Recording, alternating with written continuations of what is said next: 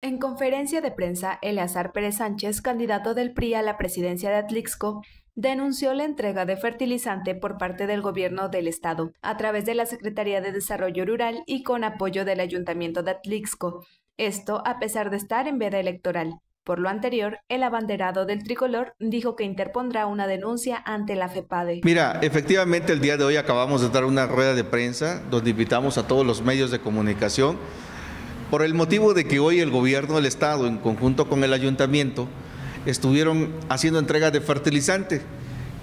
Pues la verdad es que qué bien por los, por los productores, qué bien por los que se dedican a la siembra del campo, pero qué mal por parte de la autoridad, que en este caso es el gobierno del Estado y el gobierno municipal, de que a sabiendas de que estamos en veda electoral, y, y, están haciendo estas entregas que son, se tipifican de acuerdo a la ley electoral, pues en un delito electoral. ¿Por qué? Porque existe esta veda y que además no deben de repartirse en este momento programas ni, ni hacerse publicidad a, las diferentes dependencias. Y hoy vimos exclusivamente a la Secretaría de Desarrollo Rural que estuvo haciendo la entrega en conjunto con el ayuntamiento porque ahí estaba este personaje de apellido Espinosa y Jorge Gutiérrez, en donde estuvieron haciendo el reparto de fertilizante.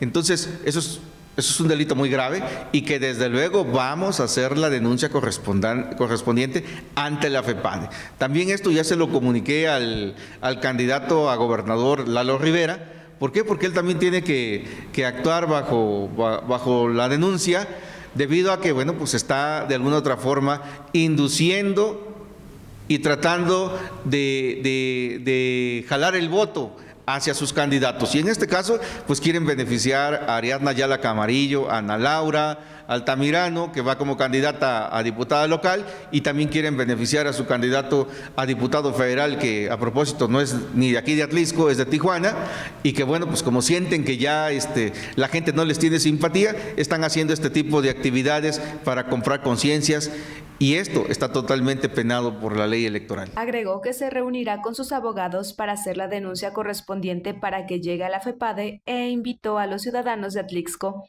de tomar todo lo que les ofrecen, pero no votar por esos candidatos que ya estuvieron en el poder. Bueno, en este caso vamos a iniciar con el procedimiento el día de hoy. Más tarde me reuniré con mi grupo de abogados para presentar esta denuncia ante la FEPADE. Y una vez que tengamos esa denuncia realizada con el sello de acuse, nuevamente se les hará de conocimiento a todos los medios de comunicación. Pero sobre todo aquí hacerle un llamado a los ciudadanos.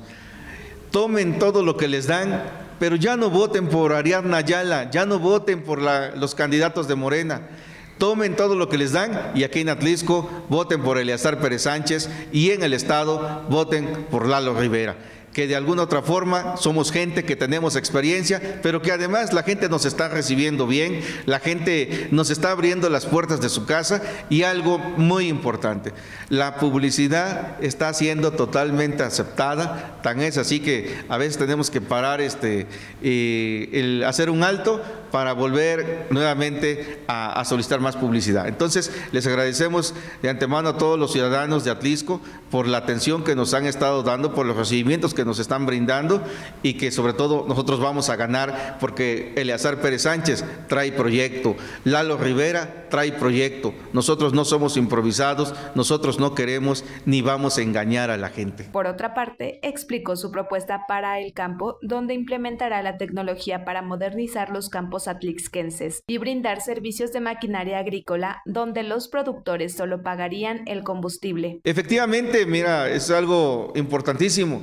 Lo que el, lo que el gobierno no hace, Eleazar Pérez Sánchez ya lo propuso. ¿Qué vamos a hacer para beneficio de los agricultores de aquí del Valle de Atlisco? Vamos a poner módulos de maquinaria agrícola donde ellos van a poder solicitar que ya sea que les vaya a barbechar, les vaya a rastrear, les vaya a surcar los tractores y ellos solamente, los productores van a pagar el diésel. Y cuando se trate de hacer fumigaciones, vamos a hacer el uso de la tecnología, en este caso los drones, Vamos a hacer fumigaciones para todos los productores, para toda la gente que se dedica a trabajar el campo, les vamos a hacer las fumigaciones totalmente gratuitas. Ahí no tienen que pagar ni un solo peso. Y eso se llama realmente traer un apoyo de beneficio al campo y no solamente estar entregando paquetitos de herramienta, paquetes de fertilizantes, que sí contribuyen en algo, pero no le vienen a solucionar los problemas, sobre todo a mostrarles a la gente que se dedica al campo las nuevas tecnologías que están disponibles y que muchos nos pueden ayudar para abaratar costos. Y esa propuesta la está implementando Eleazar Pérez Sánchez. Para STV Puebla, Olimpia Paredes.